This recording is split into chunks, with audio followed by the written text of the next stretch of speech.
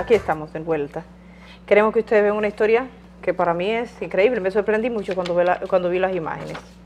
Y queremos que ustedes las vean. Cómo estudian algunos universitarios en la academia, en la Universidad Autónoma de Santo Domingo, la primada de América. Vean ustedes esto. Teófila Rossi, estudiante de medicina, nunca imaginó que iniciar sus estudios universitarios conllevaría un cambio tan drástico. Llegar desde tu casa, donde a veces tú tienes que hacer, vamos a decir, vienes cansada, que a veces uno tiene familia, a venir a sentarse aquí en una piedra es bien difícil.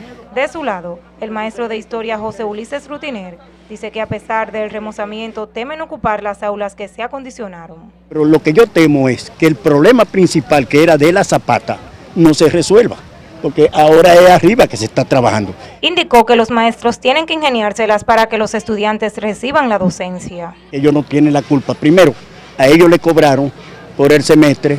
Asimismo, Carmen Castro, quien imparte filosofías, afirmó que esta situación ha afectado su salud. Estoy muy manchada con los rayos del sol, pues son clases de tres horas y casi todas me tocan aquí debajo de una mata. Cabe destacar que los trabajos de remozamiento de la Facultad de Humanidades continúan paralizados pese a que el rector Iván Grullón aseguró que este miércoles serían reanudados.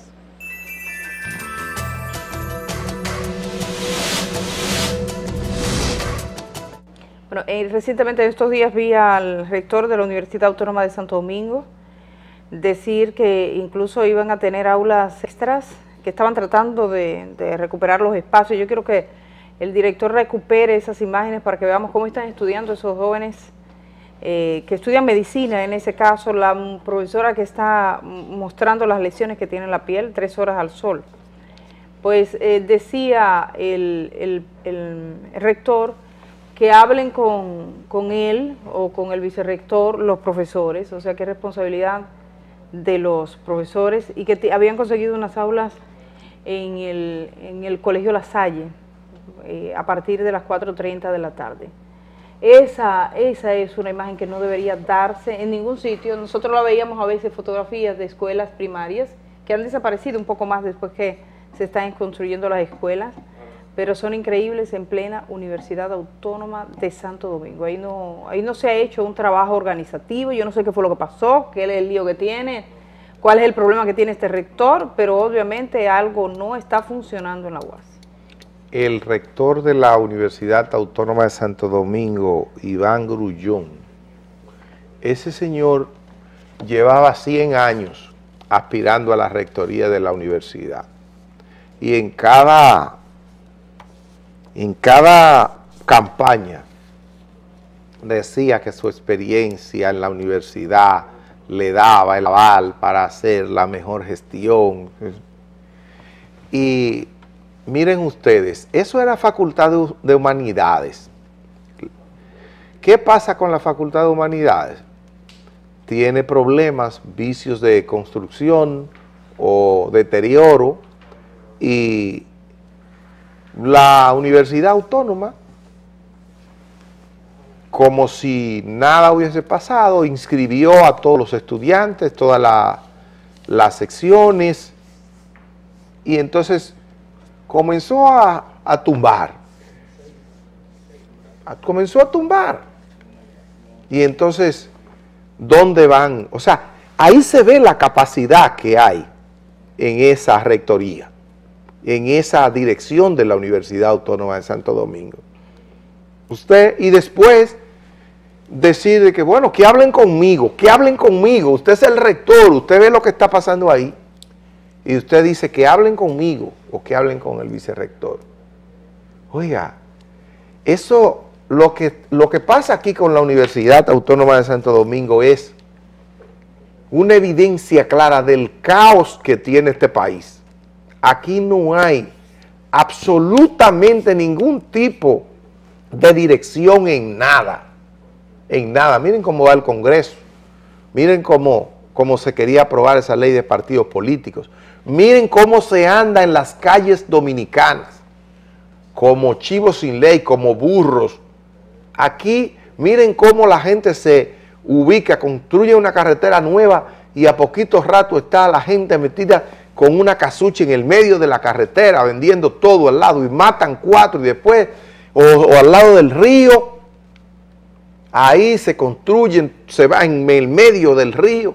Ustedes vieron lo que pasó en Santiago recientemente, un grupo de gente que se metió en el medio del río Yaque, en esa parte que estaba seca, y cuando el ayuntamiento dice que hay que evaluar, a mí hay que darme una casa y cerca, y buena aquí.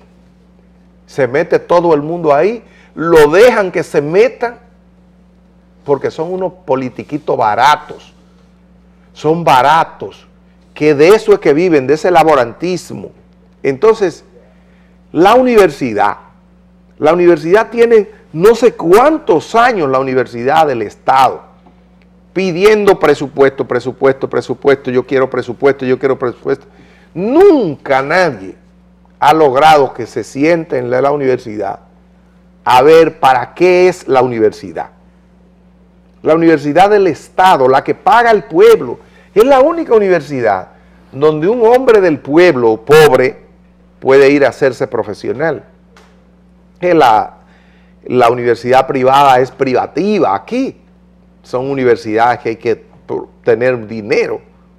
Entonces, ¿qué, ¿cuál debe ser el rol de la universidad? Lo primero es que a la universidad no puede entrar todo el que quiera. Si usted es un individuo que no tiene calidad usted va a durar 10 años en la universidad, usted no puede ir ahí. Primero, las carreras que hay que estimular en la universidad son carreras de acuerdo a la necesidad del Estado, del pueblo. Y después, el dinero de la universidad tiene que invertirse en las cosas importantes, en la investigación. La gente que está saliendo de ahí de la universidad en su mayoría es ágrafa. Ágrafo significa que no saben leer y escribir. No saben escribir. Y salen con título de licenciado, cosas de esas. ¿Y hasta cuándo? Y miren ustedes, miren ustedes como dice esa joven, bueno, uno viene de su casa cansado porque tiene muchas cosas que hacer y entonces aquí tiene que sentarse en una piedra. En una piedra. Vamos a seguir pendientes de lo que ocurre en la Universidad Autónoma. Solo decirles que me comentan ha quedado detenido, parece que le van a conocer medidas de coerción. El doctor Oscar Polanco, ginecólogo, el que hizo las cirugías en Iriamet, la clínica estética de Santiago, donde murieron dos mujeres hace un rato. Fue al Ministerio Público para interrogatorios y queda detenido, eso provisionalmente, tiene un plazo de 24 horas para presentar cargos, así que ya ustedes saben. Nos despedimos por este día, señor Zapete, mañana es viernes, hasta mañana. Así es, hasta Pásenla bien, hasta mañana.